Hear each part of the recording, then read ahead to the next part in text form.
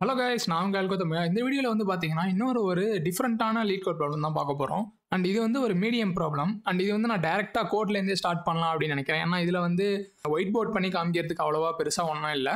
But இது வந்து கான்செப்டுவலாக பார்த்தீங்கன்னா இன்றைக்கி வந்து நம்ம புதுசாக ஒரு விஷயம் கற்றுக்க போகிறோம் என்ன அப்படின்னா எப்படி நம்ம ஜாவாவில் ட்ரீ மேப் யூஸ் பண்ணுறது அப்படின்றது கற்றுக்க போகிறோம் ஸோ இந்த ப்ராப்ளம் வந்து அதுக்கு சூப்பராக சூட் ஆச்சு. ஸோ அதனால தான் இதை ஒரு சான்ஸாக யூஸ் பண்ணி அந்த டேட்டா ஸ்ட்ரக்சர் பற்றியும் பேசலாம் அப்படின்னு இந்த வீடியோ பண்ணுறேன் ஸோ ஸ்கிப் பண்ணாமல் ஃபுல்லாக பாருங்கள் ரொம்ப ஹெல்ப்ஃபுல்லாக இருக்க போகுது ஓகேவா so first of all question வந்து பார்த்தீங்கன்னா இங்கே லெஃப்ட்டில் கொடுத்துருக்காங்க. நீங்கள் ஃபுல்லாக படிக்கிறதுனா படிச்சுக்கோங்க.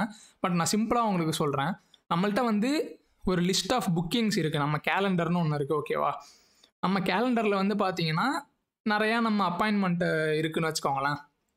ஸோ ஒவ்வொரு அப்பாயின்மெண்ட்டும் ஒரு ஸ்டார்ட் டைம் இருக்கும் ஒரு ரெண்டு டைம் இருக்கும். ஸோ இந்த மாதிரி நிறைய அப்பாயின்மெண்ட் நமக்கு ஒவ்வொன்றா கொடுத்துட்டே இருக்க போகிறாங்க இந்த அப்பாயின்மெண்ட்டை நம்மளால் புக் பண்ண முடியுமா முடியாதா அப்படின்றதான் நம்ம ரிட்டர்ன் பண்ணணும். So return true or false அதாச்சு இப்போ வந்து ஃபார் எக்ஸாம்பிள் இந்த புக் அப்படின்ற மெத்தடை வந்து பார்த்தீங்கன்னா கால் பண்ணிகிட்டே இருக்க போகிறாங்க ஒவ்வொரு புக்குக்கும் எது ஸ்டார்ட் டைம் எது என் டைம்னு அவங்களே கொடுத்துருவாங்க. இந்த ஸ்டார்ட் டைம் என் டைமை வச்சு நம்மள்ட்ட ஆல்ரெடி இருக்கிற புக்கிங்ஸ் கூட கம்பேர் பண்ணி இந்த டைம் வந்து வேற எந்த டைம் கூடயும் ஓவர்லேப் ஆகாமல் இருக்கா? ஆல்ரெடி இந்த டைம் வந்து நம்ம வேற எங்கேயாச்சும் புக் பண்ணி வச்சுருக்கோமா? இல்லை வேற புக்கிங் கூட இது ஓவர்லேப் ஆகுதா? அப்படிலாம் செக் பண்ணி பார்த்துட்டு எதுவும் பிரச்சனை இல்லை ஓவர்லேப்லாம் ஆகலை அப்படின்னா இந்த புக்கிங்கையும் வந்து நம்ம ஆட் பண்ணிவிட்டு ட்ரூ ரிட்டர்ன் பண்ண போகிறோம் இல்லைன்னா டேரெக்டாக ஃபால்ஸ் ரிட்டர்ன் பண்ண போகிறோம் அண்ட் ஃபர்ஸ்ட் ஆஃப் ஆல் பார்த்தீங்கன்னா இதில் வந்து கேலண்டரே அவங்க என்னன்னே கொடுக்கல. லைக் அது என்ன மாதிரி ரெப்ரசன்ட் பண்ணுறாங்க அப்படின்றது கொஷினில் கொடுக்கவே இல்லை.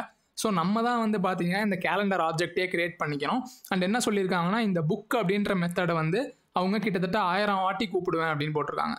ஸோ இங்கே வந்து பார்த்தீங்க கீழே அப்படின்னா thousand calls will be made to this book function அப்படின்னு கொடுத்துருக்காங்க.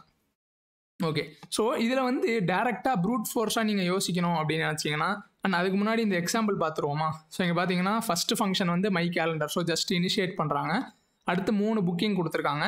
இந்த மூணு புக்கிங்க்கு வந்து பார்த்தீங்கன்னா ஒவ்வொன்றும் ஒரு start time end time so ten start twenty end fifteen start twenty five end அந்த மாதிரி. ஸோ இதில் ஃபஸ்ட்டு புக்கிங் ட்ரூ பண்ணியிருக்காங்க ஏன்னா நமக்கு அப்போ வரைக்கும் எந்த புக்கிங்குமே இருந்திருக்காது. ஸோ ட்ரூ ரிட்டர்ன் பண்ண போகிறோம் செகண்ட் புக்கிங் வந்து பாருங்களேன். ஃபிஃப்டீன் கம்மா டுவெண்ட்டி ஃபைவ்க்கு ஃபால்ஸ் ரிட்டர்ன் பண்ணுறாங்க ஏன்னு பார்த்தீங்கன்னா இந்த fifteen comma twenty five is overlapping with ten comma twenty கரெக்டாக அதனால இந்த ரெண்டு புக்கிங்கும் ஒரே சமயத்தில் இருக்க முடியாது.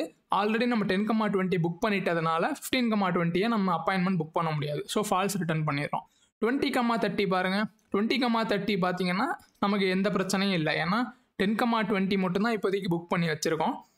ஸோ இந்த டுவெண்ட்டி கம்மா தேர்ட்டி வந்து டென் கம்மா டுவெண்ட்டி முடிஞ்சோடனே அப்படியே தான் ஸ்டார்ட் ஆகுது. ஸோ நமக்கு எந்த ஓவர்லாப்பும் இல்லை பிரச்சனை இல்லை. ஸோ இதை வந்து நம்ம ஆட் பண்ணிவிட்டு ட்ரோனு ரிட்டர்ன் பண்ண போகிறோம் ஸோ அதான் இங்கே கொடுத்துருக்காங்க. ஓகேவா ஸோ இப்போது இதில் மெயினாக என்ன அப்படின்னா ரெண்டு விஷயம் நம்ம பார்க்கணும் கைஸ் ஃபர்ஸ்ட் ஆஃப் ஆல் வந்து நம்மளோட அந்த கேலண்டர் ஆப்ஜெக்டை நம்ம எப்படி ரெப்ரசன்ட் பண்ண போகிறோம் அதாச்சும் நம்ம கேலண்டர் வந்து எப்படி இருக்க போகுது? ஒரு அரே லிஸ்ட்டாக இருக்க போதா? இல்லை ஒரு ஹீப்பாக இருக்க போதா? இல்லை ஒரு மேப்பாக இருக்க போதா? எப்படி வச்சுருந்தா நமக்கு வந்து இந்த புக்கிங் ஒவ்வொரு தரையும் செக் பண்ணி கம்பேர் பண்ணுறதுக்கு ஈஸியாக இருக்கும் அப்படின்றத ஃபஸ்ட்டு யோசிக்கணும். ஏன்னா நம்ம புக்கிங்கில் வந்து மெயினாக ரெண்டு ஆப்ரேஷன் பண்ணணும் கரெக்டாக ஃபஸ்ட் ஆஃப் ஆல் வந்து புக்கிங் வந்து இன்சர்ட் பண்ணுறதுக்கு நமக்கு எஃபிஷியண்ட்டாக இருக்கணும். ஏன்னா ஒவ்வொரு தரையும் புக்கிங் நம்ம செக் பண்ணிவிட்டு இன்சர்ட் பண்ணணும்னா இன்சர்ட் பண்ணுறதுக்கு ஒரு நல்ல டேட்டா ஸ்ட்ரக்சராக இருக்கணும். அதே மாதிரி நம்ம அந்த புக்கிங் வேணுமா வேணாமான்னு செக் பண்ணுறதுக்கு நம்ம அந்த டேட்டா ஸ்ட்ரக்சரை வந்து ரீட் பண்ணுவோம் இல்லையா? அப்போ ரீட் பண்ணும்போதும் அந்த டோட்டல் டைம் வந்து எஃபிஷியண்ட்டாக இருக்கணும். அதாவது அந்த டேட்டா ஸ்ட்ரக்சரை சார்ட்டடாக வச்சுக்கிறதுக்கு நமக்கு வந்து எஃபிஷியண்ட்டாக டைம் காம்ப்ளெக்சிட்டி இருக்கணும். ஸோ பெரிய டேட்டா ஸ்ட்ரக்சராக இருக்கக்கூடாது. ஸோ இப்போ லிஸ்ட்லாம் நீங்கள் எடுத்துக்கிட்டீங்க அப்படின்னா சார்ட் பண்ணுறதுக்கே ஒவ்வொரு தரையும் நீங்கள் என்லாகேன்னு போடணும். அதே மாதிரி அதில் வந்து ஈஸியாக இன்சர்ட்டும் பண்ண முடியாது. இன்சர்ட் பண்ணுறதுக்கும் நம்ம வந்து லீனியர் டைம் எடுத்துக்கும். ஸோ அதனால் லிஸ்ட்லாம் நம்ம யூஸ் பண்ண முடியாது. ஜாவாவில் வந்து பார்த்தீங்கன்னா ட்ரீ மேப் அப்படின்னு ஒரு சூப்பரான விஷயம் இருக்குது இது வந்து எனக்கு நிறைய இடத்துல யூஸ் பண்ணுறதுக்கு சான்ஸே கிடைக்கல. பட் இந்த ப்ராப்ளமில் வந்து செமையாக சூட் ஆகுது. ஆக்சுவலாக இந்த ட்ரீ மேப் அப்படின்றது முதல்ல என்னன்னு சொல்லிடுறேன். அப்புறம் அது எதை வச்சு கிரியேட் பண்ணுறாங்கன்னு ஜஸ்ட் பேசிக்காக சொல்கிறேன் ஏன்னா அதை அதை பற்றி ரொம்ப பேசினோன்னா இந்த ப்ராப்ளம்குள்ளே நம்ம போக முடியாது. இது ஒரு sorted data structure with efficient insert time ஓகேவா ஏன் அப்படி சொல்கிறேன் அப்படின்னா இன்சர்ட் டைம் வந்து இதில் வந்து பார்த்தீங்கன்னா ஒர்ஸ்ட் கேஸில் லாக் அண்ட் டைம் எடுக்க போகுது. ஓகேவா இது வந்து compare to any other data structure நீங்கள் பார்த்தீங்கன்னா கம்மியான டைம் தான் எடுக்க போகுது ஏன்னா இது சார்ட்டடாகவும் இருக்குது ஸோ நமக்கு ரெண்டு அட்வான்டேஜும் கொடுக்குது. ஓகேவா இப்போது ஸோ கிரியேட் பண்ணுறது ரொம்ப சிம்பிள் தான். நம்ம நார்மல் ஹேஷ் மேப் க்ரியேட் பண்ணுவோம்ல அது மாதிரி க்ரியேட் பண்ணிக்கலாம். அதே கீ வேல்யூலாம் இருக்க போகுது. ஸோ இந்த இடத்துல நான் எப்படி பண்ண போகிறேன் அப்படின்னா கீ வந்து ஸ்டார்ட் வேல்யூ வச்சுக்க போகிறேன் வேல்யூ வந்து எண்டு வேல்யூ வச்சுக்க போகிறேன் ஸோ ரெண்டுமே இன்டீஜர் தான் கரெக்டாக ஸோ இது வந்து நான் புக்கிங்ஸ்னு கால் பண்ணிக்கிறேன் கைஸ் ஓகேவா இப்போ இந்த புக்கிங்ஸை வந்து நம்ம கன்ஸ்ட்ரக்டருக்குள்ளே இனிஷியலைஸ் பண்ணிடலாம். So bookings equal to new tree map ஓகேவா அண்ட் இது வந்து நான் சொன்னேன் உங்கள்கிட்ட சார்ட்டடாக இருக்க போகுது அப்படின்னு.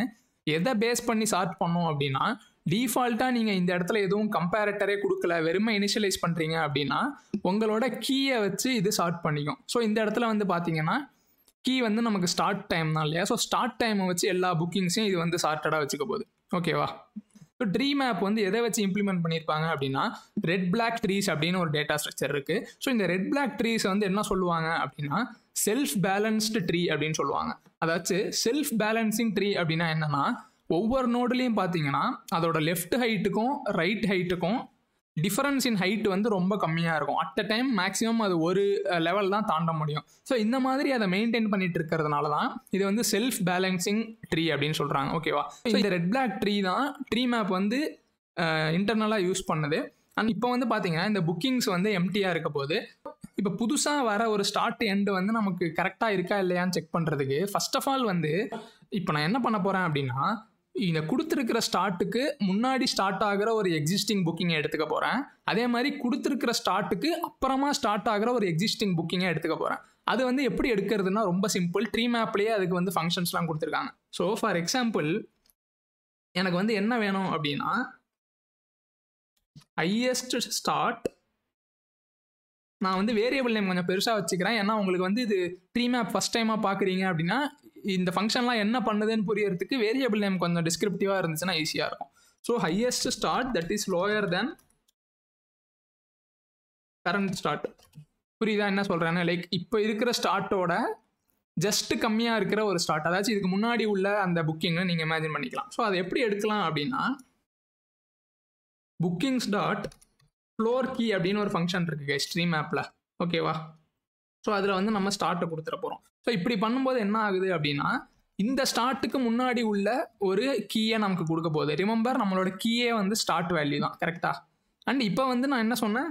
இதுக்கு அடுத்து ஸ்டார்ட் ஆக போகிற அந்த புக்கிங்கோட ஸ்டார்ட் எடுத்துக்க போகிறேன் ஸோ அதுக்கு நான் வேரியபிள் நேமை மாற்றிருட்டா so lowest start that is higher than current start புரியுதா கேஸ் அதாச்சு இப்போ இருக்கிற ஸ்டார்ட்டுக்கு ஜஸ்ட்டு அடுத்து நடக்க போகிற புக்கிங்கோட ஸ்டார்ட் ஸோ அதுக்கு வந்து என்ன ஃபங்க்ஷன் பேர் அப்படின்னா சீலிங் கீ அப்படின்னு சொல்லியிருக்காங்க. ஸோ இந்த ஃபங்க்ஷனோட நேம் எல்லாமே உங்களுக்கு பார்த்தா புரியும். ஓகேவா so ceiling key floor key எடுத்துட்டோம். இப்போது நம்ம இப்போ இருக்கிற ஸ்டார்ட் எண்டு வேலிடா இல்லையா அப்படின்னு எப்படி செக் பண்ணுவோம்? நமக்கு முன்னாடி உள்ள ஈவெண்ட்டு நமக்கு முன்னாடியே முடிஞ்சிருக்கணும். நமக்கு அப்புறம் ஸ்டார்ட் ஆகிற ஈவெண்ட்டு நம்ம ஈவெண்ட் முடிஞ்சதுக்கு அப்புறம் தான் ஸ்டார்ட் ஆகணும். இந்த ரெண்டு கண்டிஷனும் இருந்துச்சுன்னா நம்ம ஈவெண்ட் வந்து ஃப்ரீயாக இருக்க போது எதுவும் ஓவர்லேப் ஆகலைன்னு அர்த்தம். கரெக்டாக அது எப்படி செக் பண்ணுவோம் அப்படின்னா ஃபர்ஸ்ட் ஆஃப் ஆல் இது வந்து நல்லா இருக்கலாம். ஓகேவா ஏன்னா நல்லா என்ன அர்த்தம்? இதுக்கு முன்னாடி எதுவுமே இல்லைன்னு அர்த்தம். அப்படி இருக்கலாம் பரவாயில்ல. ஆர் இன்னொன்று என்ன சொன்னேன்? நமக்கு முன்னாடி ஆரம்பித்தது ஈவெண்ட்டு நமக்கு முன்னாடியே முடிஞ்சிருக்கணும். முடிஞ்ச டைம் எப்படி கண்டுபிடிப்பீங்க? புக்கிங்ஸ் டாட் கெட் வச்சு எடுக்கணும். கரெக்டாக ஏன்னா நம்ம ஸ்டார்ட் டைம் தான் கீ அப்படின்றதுனால இதுக்கு நமக்கு முன்னாடி நடந்த ஈவெண்ட்டோட எண்டு டைம் வந்து இதுதான். கரெக்டா அண்ட் இது வந்து இப்போ இந்த ஸ்டார்ட் ஆரம்பிக்கிறதுக்கு முன்னாடியே முடிஞ்சிருக்கணும். புரியுதா கேஸ்? ரொம்ப சிம்பிள் தான். அண்ட் அடுத்த கண்டிஷன் என்ன சொன்னேன்? நமக்கு அப்புறம் நடக்கிறது ஈவெண்ட் வந்து எதுவுமே இல்லாமல் கூட இருக்கலாம். ஸோ அதுவும் நல் அது பரவாயில்ல. ஆர் நமக்கு அப்புறம் நடக்க போகிற ஈவெண்ட் இப்போ நடக்கிற ஈவெண்ட்டுக்கு அப்புறம் தான் ஸ்டார்ட் ஆகணும். முடிஞ்சதுக்கு அப்புறம் தான் ஸ்டார்ட் ஆகணும். அது டேரெக்டாக செக் பண்ணிடலாம் இல்லையா? அதாச்சு lowest start time that is happening after the event is greater than or equal to end புரியுதா கைஸ் இந்த ரெண்டு கண்டிஷன் மட்டும் செக் பண்ணாலே போதும். இது ரெண்டுமே ட்ரூவாக இருந்துச்சுன்னா என்ன பண்ண போகிறோம் ரிட்டர்ன் ட்ரூ ஆனால் புக்கிங்ஸில் ஆட் பண்ண மறந்துடாதீங்க. So bookings dot add start வந்து கீ வேல்யூ வந்து எண்டு ஓகேவா ஜஸ்ட் மேப் மாதிரி இமேஜின் பண்ணிக்கோங்க. இல்லை இந்த மாதிரி இல்லை அப்படின்னா டைரெக்டாக ஃபால்ஸ் ரிட்டர்ன் பண்ணிடலாம். இவ்வளோதாங்க இந்த ப்ராப்ளம் ஓகேவா ஸோ இது வந்து பார்த்தீங்கன்னா இந்த ஒரு புக்கோட காம்ப்ளெக்சிட்டி அதாச்சும் இந்த ஃபங்க்ஷன் ஒரு தடவை கால் ஆகிறதுக்கு என்ன டைம் ஆகும் அப்படின்னு பார்த்தீங்கன்னா சொன்னேன் இல்லையா உங்களுக்கு? இன்சர்ட் பண்ணுறதுக்கான டைம் வந்து என்ன? லாகின் ஒர்ஸ்ட் கேஸில் லாகின் பெஸ்ட் கேஸில் வந்து ஓ ஆஃப் ஒன்லேயே பண்ணிடலாம். ஓகேவா அண்ட் ஸ்பேஸ் காம்ப்ளெக்சிட்டி வந்து இந்த இடத்துல நம்ம ஓவராலாக யூஸ் பண்ணுற ஸ்பேஸ் தான் இருக்குது அதாச்சும் இந்த ட்ரீ யூஸ் பண்ணுறோம் இல்லையா? ஸோ ட்ரீயோட ஸ்பேஸ் வந்து ஓ ஆஃப் என் அதாச்சும் எவ்வளோ நோடு இருக்கோ அவ்வளோ ஸ்பேஸ் நமக்கு தேவைப்பட போகுது. ஸோ இதுதாங்க நம்ம டைம் அண்ட் ஸ்பேஸோ சப்மிட் பண்ணி பார்க்கலாம். அண்ட் இன்னொரு விஷயம் இங்கே நான் என்ன பண்ணியிருக்கேன் அப்படின்னா இந்த floor key ceil key call பண்ணும்போது இந்த மாதிரி இன்டீஜர் கொடுக்காது. இந்த ரேப்பர் டைப் இன்டீஜர் அதாச்சும் அந்த ப்ரிமிட்டிவ் இன்டீஜரோட ரேப்பர் கிளாஸஸ் இருக்கும் இல்லையா? ஸோ இந்த இன்டீஜர் தான் ரிட்டர்ன் பண்ண போகுது ஸோ அது மறந்துடாதீங்க அதே மாதிரி இந்த கண்டிஷன் பார்த்தீங்கன்னா நம்ம இந்த இடத்துல அண்டு போட்டிருக்கிறதுனால ப்ராக்கெட் கரெக்டாக ஸ்பெசிஃபை பண்ணணும்.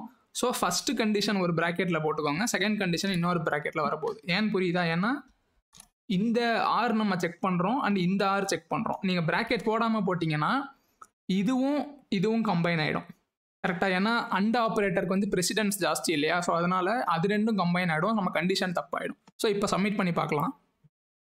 ஸோ இந்த ப்ராப்ளம் உங்களுக்கு கண்டிப்பாக பிடிச்சிருக்கும்னு நினைக்கிறேன். ஏன்னா இந்த ட்ரீ மேப் அப்படின்றது வந்து நம்ம யூஸ்வலாக யூஸ் பண்ணுறதுக்கான சான்ஸ் கிடைக்காது. பட் இன்டர்வியூஸில் வந்து சம்டைம்ஸ் இந்த மாதிரி கொஷின்ஸ் கேட்கும்போது நமக்கு அப்படியே பிளாக் ஆகிருக்கும் மைண்டு ஸோ இந்த மாதிரி சில டிஃப்ரெண்ட் கொஷின் சால்வ் பண்ணும்போது இந்த மாதிரி விஷயம் எல்லாமும் தெரிஞ்சுக்க யூஸ்ஃபுல்லாக இருக்கும். அண்ட் கண்டிப்பாக இது உங்களுக்கு பிடிச்சிருக்கும்னு நினைக்கிறேன். யாராச்சும் இன்டர்வியூ ப்ரிப்பேர் பண்ணுறாங்க இல்லை ஜாப் ஸ்விட்ச் பண்ண ட்ரை பண்ணிட்டு இருக்காங்க அப்படின்னா அவங்களுக்கு இது ஷேர் பண்ணுங்கள் ரொம்ப ஹெல்ப்ஃபுல்லாக இருக்க போது ஓகே ஸோ இதே மாதிரி இன்னொரு சூப்பரான வீடியோவில் பார்க்குற வரைக்கும் பட்டா நண்பா.